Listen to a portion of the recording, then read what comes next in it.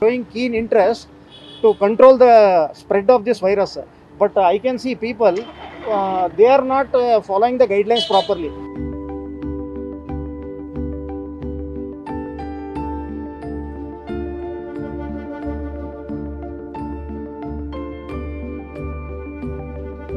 That now for survival people have to come out and do their jobs. Because unless and until you do the business you don't earn. And if you don't earn you cannot feed your family. So that is a very precarious question.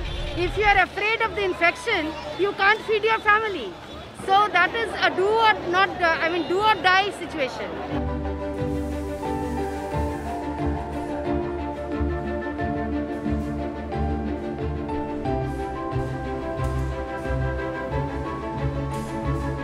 घर पे मेरे family मतलब मेरा husband वगैरह, वो बोल रहे थे कि मत जाओ काम पे, ऐसी सिचुएशन है तो हमको पहले हमारी जान ही सबसे इम्पोर्टेंट है।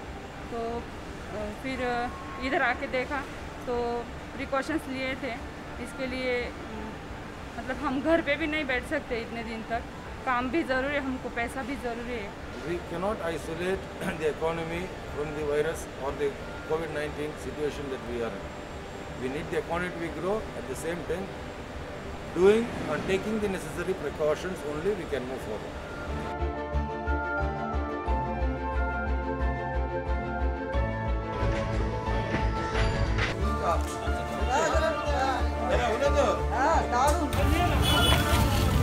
I, I think that she is very precious. My uh, she is precious than my life also.